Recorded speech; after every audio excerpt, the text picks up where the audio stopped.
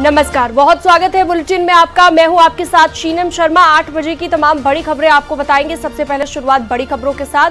अमित शाह आज यूपी में, यूपी का तूफानी दौरा करने वाले हैं, चुनाव प्रचार करने वाले हैं। प्रतापगढ़, रायबरेली और गोंडा में चुनावी सभा को संबोधित करेंगे। वहीं सीएम योगी भी प्रचंड प्रचार में जुटे हुए हैं। मुख्यमंत्री योगी आदित्यनाथ आज मोहन लालगंज केसरगंज और अमेठी में जनसभा को संबोधित करने वाले हैं। और तीसरी बड़ी खबर कल के मतदान से जुड़ी हुई है। कल यूपी की तेरह सीटों पर मतदान होना है। ये तीन बड़ी खबरें जो कि हम विस्तार से जानेंगे।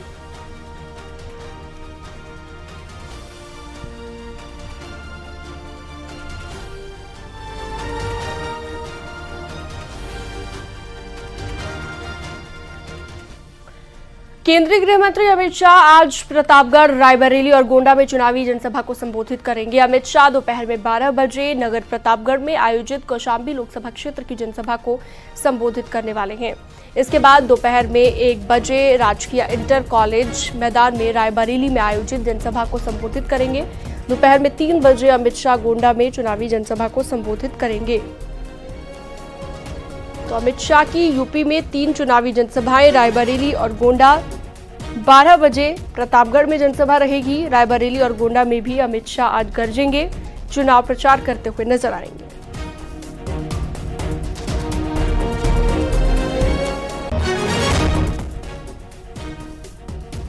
तो यूपी के चुनावी रण में अमित शाह आज एक बार फिर से चुनाव प्रचार करते हुए नज़र आएँगे। तीन चुनावी जनसभाएँ आज अमित शाह की रहने वाली है। रायबरेली और गोंडा में भी जनसभा है।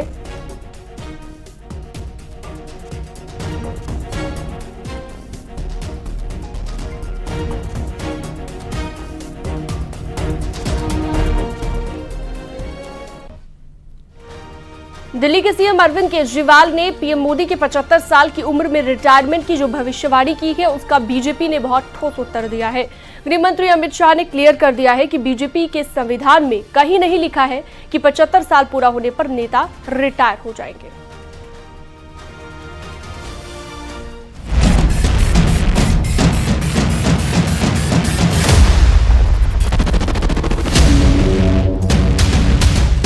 जेल से निकले तो उम्र पर अटके। इंडिया गठबंधन मुद्दों को तलाशते तलाशते जिस नायाब चीज़ को ढूंढ कर लाई है, वो है प्रधानमंत्री नरेंद्र मोदी की उम्र। अंतरिम जमानत पर जेल से छूटे दिल्ली के मुख्यमंत्री अरविंद केजरीवाल का ये नया सियासी शिगुफा है। तेलंगाना के सीएम रेवंत रेड्डी का ये नया सियासी तराना है। दिल्ली टू हैदराबाद इंडिया गठबंधन अब नहीं कर पा रहा अपनी बात। नहीं मिल रही आम आदमी गरीबों के लिए कल्याण की कोई बात। तो पूछ रहे हैं, बताएँ मोदी, पचहत्तर साल की उम्र पूरी करेंगे तो छोड़ देंगे तख्त और ताज। जवाब, गृह मंत्री अमित शाह से सुनिए अरे भाई, पहले मूल क्यों ऐसा बोले हैं कि पचहत्तर के बाद मोदी जी को बदलेंगे? वो तय हो चुका है, नहीं बदलना है।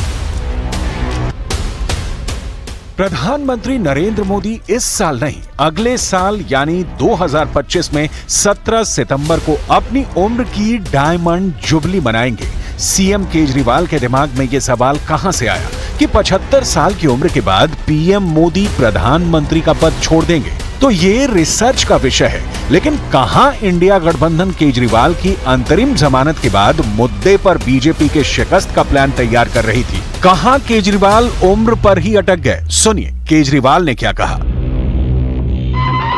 2014 में मोदी जी ने खुद ने रूल बनाया था कि बीजेपी के अंदर जो भी 75 साल का होगा उसको रिटायर कर दिया जाएगा।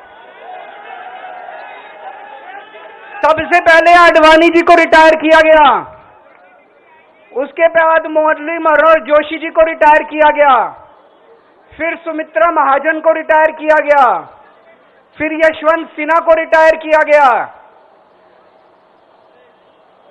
अब मोदी जी अगले साल 17 सितंबर को रिटायर होने वाले हैं। केजरीवाल की नज़र सिर्फ़ पीएम मोदी के रिटायरमेंट की उम्र पर नहीं है बल्कि उनकी आँखों में बीजेपी का भविष्य भी दिख रहा है। अगर इनकी सरकार बनी तो पहले अगले दो महीने में योगी जी को निपटाएँगे ये। और उसके बाद मोदी जी के सबसे खास अमित शाह को ये प्रधानमंत्री बनाएँगे। तो मैं लोगों को, देश के लोगों को आगाह करना चाहता हूँ। मोदी जी अपने लिए वोट नहीं मांग रहे। मोदी जी अमित शाह को प्रधानमंत्री बनाने के लिए वोट मांग रहे हैं। मोदी ने देश को गारंटी दी है और अमित शाह ने मोदी की गारंटी दी है। मोदी ही थे मोदी ही है मोदी ही रहे। सिर्फ़ दिल्ली में 400 पार करेंगे इतना ही नहीं। विधानसभा में भी भारी बहुमत से एनडीए की सरकारें बनेगी। और ये शाहजादे को, उनकी पार्टी को, उनकी उम्र से भी कम सीटें मिलने वाली हैं। बीजेपी के संविधान में नहीं लिखी 75 साल की बात। ये क्लियर कर दिया है गृह मंत्री अमित शाह ने। तो उन नेताओं का नाम लेकर, जो कि 75 साल के बाद रिटायरमेंट मोड में पीएम मोदी को लेकर हैं, उनकी शंका कितनी जायज़ है? मैं देश की जनता के सामने स्पष्ट करना चाहता हूँ कि भाजपा के संविधान में ऐसा कोई प्रोविज़न नहीं है। मोदी जी ही 29 तक नेतृत्व करेंगे और मोदी जी ही आने वाले चुनाव का भी नेतृत्व करेंगे। इंडी अलायंस के लिए कोई अच्छा समाचार नहीं है। उनको खुश होने की ज़रूरत नहीं है। 2023 में मध्य प्रदेश विधानसभा का चुनाव हुआ। इस चुनाव के लिए बीजेपी ने 70 साल से ज़्यादा उम्र के 14 उम्मीदवारों को मैदान में उतारा, जिनमें सबसे उम्र दराज 80 साल के उम्मीदवार थे। यही नहीं, वर्तमान लोकसभा में बीजेपी के छप्पन ऐसे सांसद हैं जो 70 साल से ज़्यादा उम्र को पार कर चुके हैं और अब की बार भी मैदान में ताल ठोक रहे हैं।